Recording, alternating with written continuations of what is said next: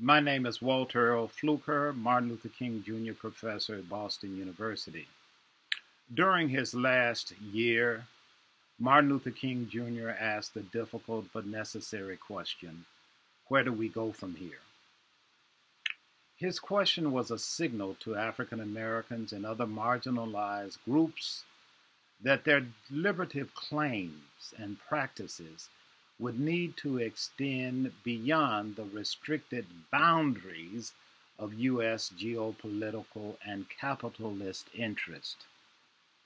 His question was also an interrogation of the promised land of freedom and opportunity and the precarity of ghostly non democratic performances in neoliberal political and economic constructions of race, religion, and culture a culture of violence and death which still persists in our contemporary context.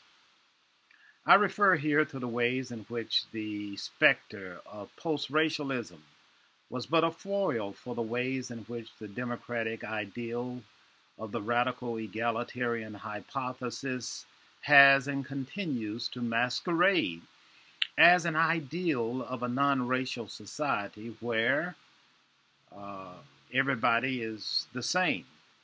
While the economic, political, and social situations of the poor of all colors and creeds progressively deteriorate. At stake in this conversation about the world house is the meaning of democratic space and its compatibility with the notion of global citizenship. In this moment of American history, it appears that the idea of democratic space is returning to a time we thought we had bypassed with the election of President Barack Obama.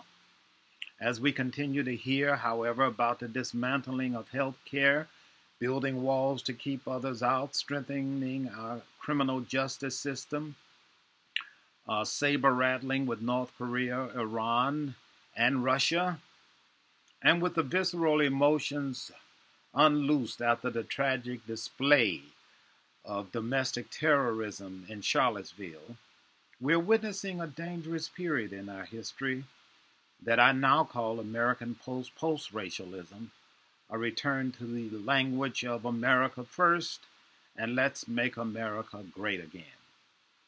King's call for a world house, however, reminds us that there is indeed plenty good room in our nation for a diverse and inclusive society, or for what the late historian John Hope Franklin called the land of room enough. But first, we must create space for others. In our precarious experiment in democracy, we must create space for the other. A fundamental consideration of this space is respect for human dignity, but also the responsibility, not just the right, but the responsibility to dissent. I agree that democracy is first and foremost a proposition. That is, it's a plan, it is conditional. Therefore, if we want America, as King said, to become a great nation, not to become great again, to, but to become a great nation, we must choose to create democratic space. For indeed, there is room enough.